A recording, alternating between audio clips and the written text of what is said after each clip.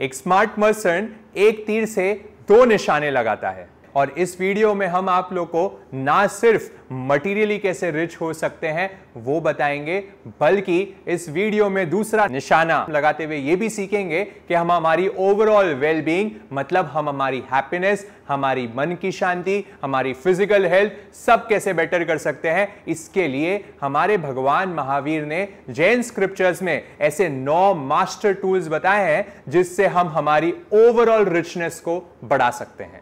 सबसे पहला अन्न पुण्य मतलब खाने का डोनेशन दीजिए फ़ूड डोनेशन दीजिए। दूसरा पान पुण्य मतलब कि पानी का डोनेशन दीजिए वाटर डोनेशन कीजिए, क्योंकि हम सब जानते हैं, जल ही जीवन है। तीसरा, लयन पुण्य मतलब बैठने की जगह दीजिए, किसी को स्थान दीजिए। कभी आप लोग ट्रेन में जा रहे हैं बस में जा रहे हैं, और किसी ने आपसे बैठने की जगह मांग ली, बैठने की जगह दे दीजिए, लयन पुण्य बन जाएगा।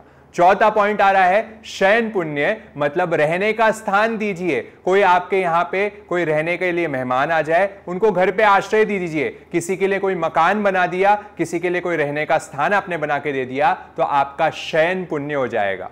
पांचवा वस्त्र पुण्य मतलब पहनने को किसी को कपड़े दीजिए क्लोथ्स डोनेशन कीजिए किसी को ब्लैंकेट्स दीजिए किसी को आ, कपड़े पहनने के लिए दीजिए उससे भी आपकी नसीब चमकेगा।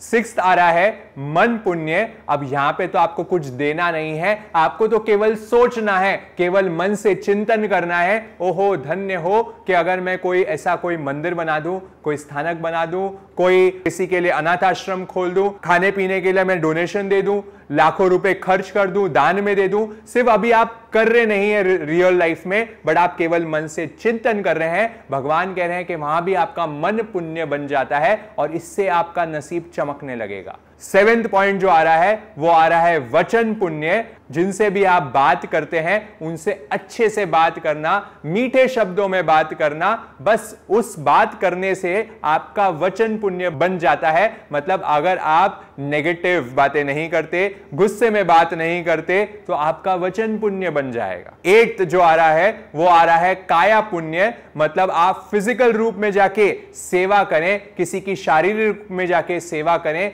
फिजिकली कि अगर किसी को हेल्प कर रहे हैं, उससे आपका काया पुण्य बन जाएगा। और नाइन्थ पुण्य आ रहा है, सबसे इजी जय जिनेन्द्र, नमस्कार। बस नमस्कार करने से भी, नमस्ते बोलने से भी आपका नमस्कार पुण्य बन जाएगा। और ये भी आपके जो है सितारों को चमका देगा। इसलिए हमारी भारतीय परंपरा कितनी अच्छी रही है। कभी कभी हम किसी से मिलते हैं। सबसे पहले हम जाके उनके प्रणाम करते हैं, पैर छूते हैं, नमस्कार करते हैं, क्योंकि नमस्कार करने से पुण्यवानी बन जाती है और पुण्यवानी बढ़ जाने से हमारी मटेरियलिस्टिक रिचनेस के साथ साथ हमारी ओवरऑल वेलबींग ओवरऑल रिचनेस भी डेवलप होती है। तो इस वीडियो में अगर आपको ये वीडियो पसंद आया हो तो ज़रूर इसको लाइक करें और लोगों से शेयर करें ताकि वो भी अपने जीवन को ज़्यादा रिच बना पाए, ज़्यादा अमीर बना पाए।